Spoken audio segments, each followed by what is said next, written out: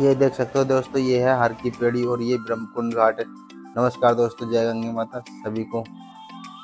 आप देख सकते हो इस समय हम हैं हरी की पेड़ी, हरिद्वार में, और यहाँ पर हमारे सामने आप जो देख रहे हो, गंगा जी में जल की धारा बहुत कम हो रखी है।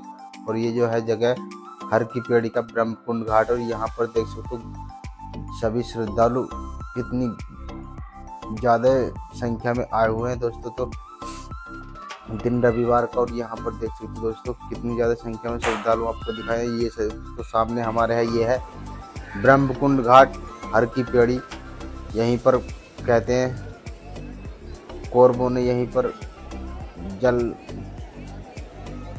कहते हैं, समुद्र मंथन के समय यहीं पर अमृत की बूंदें पड़ी थी। तो यहीं पर दोस्तों ब्रह्मकुंड घाट हो गए यहीं पर जब से ये ज़्यादा मान्यता होती है ब्रह्मकुंड घाट की दोस्तों। और यहाँ पर देख सकते सबसे ज़्यादा संख्या में श्रद्धालु आते हैं। यही जगह, वो जगह है जहाँ पर शाम को आरती होती है।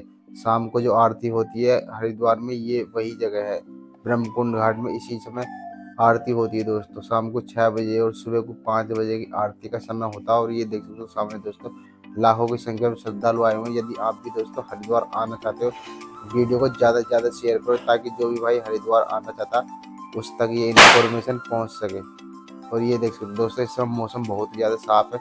जैसे कि आपको पता अगले सप्ताह नवरात्रि शुरू हो रही है। दोस्तों दूर दूर से श्रद्धालु आ रहे हैं। हम आपको चंडी और मनसा देवी दोनों जगह की आपको दर्शन कराएँगे नवरात्रि में। तो दोस्तों, वीडियो को शेयर कर देना ज़्यादा से ज़्यादा और इसी ऐसी तरह की वीडियो देखने के लिए हमारे चैनल को सब्सक्राइब कर ले, ताकि जो भी अपडेट आपको मिलती रहे हरिद्वार की, और चलते हैं हम अभी आगे की तरफ़ और दिखाएँगे आपको पूरा नज़ारा। और देख सकते हैं श्रद्धालुओं की संख्या कितनी, मौसम भी काफ़ी ज़्यादा साफ़ हो रखा है इस समय हरिद्वार में, और ये देख सकते लोगों का आना जाना शुरू हो रखा है इस समय। वैसे तो साल के बारह महीने लोग आते हैं, भक्तगण यहाँ पर आते जाते रहते हैं, लेकिन इस समय काफ़ी ज़्यादा संख्या में श्रद्धालु आते हैं, क्योंकि जैसे कि आप पता है नवरात्रि शुरू होने वाली है। चंडी देवी और मनसी देवी, मनसा देवी का ज़्यादा मान्यता रहती है। तो दोस्तों, आप भी आना चाहते तो देख सकते हो। इसी तरह का हरिद्वार में इस समय मौसम है। दोस्तों, वीडियो हमारी कैसी लगती है आपको कमेंट करके हमें ज़रूर बताएगा। और ज़्यादा से ज़्यादा शेयर करे करो। और जब आप हरिद्वार आता, आ, दोस्तों, जब भी आप हरिद्वार आते हो तो खास करके चोरों से सावधान रहें, क्योंकि चोर भी बहुत ज़्यादा होते हैं जो आपके पर्स, मोबाइल, कपड़े, लत्ते, बैग इत्यादि चुरा सकते हैं दोस्तों। ये देख सकते हो, यहाँ पर है ब्रह्मकुंड का तो ये देख सकते हो, सामने श्रद्धालु गंगा जी में रेतीले जल की मात्रा बहुत कम होगी। दोस्तों, मिलते हैं अगली पर नई जानकारी के साथ। आपको वीडियो कैसी लगती है, हमें कमेंट करके ज़रूर बताया करो।